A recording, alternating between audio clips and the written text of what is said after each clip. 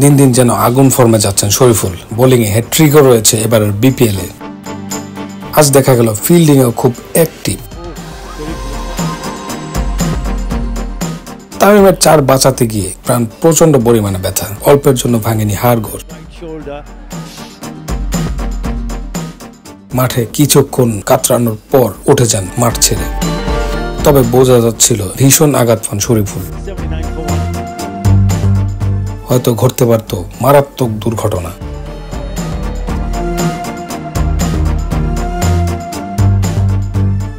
তামিম ইকবালের ব্যাটে চার ছক্কার বন্যা দেখা যায়নি দীর্ঘদিন। এবার অভাব পূরণ করে দিলেন দেশেরা এই ওপেনার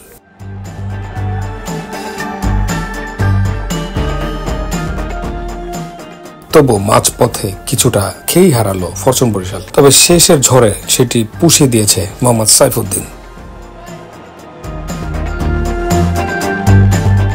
ব্যাট হাতে শুরুতেই ম্যাচ থেকে সিটকে যাওয়া দুর্দান্ত ঢাকা আর কখনোই ফিরে আসতে পারেনি।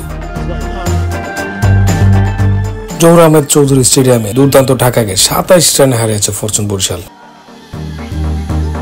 শুরুতে ব্যাট করে ছয় উইকেট হারিয়ে একশো ছিয়াশি রান করে বরিশাল। তার রান তারায় নেমে আট উইকেটে একশো উনষাট রান করে ঢাকা। এ জয়ে দশ ম্যাচে পাঁচ জয় নিয়ে বিপিএল এর পয়েন্ট টেবিলের তিনে উঠেছে বরিশাল।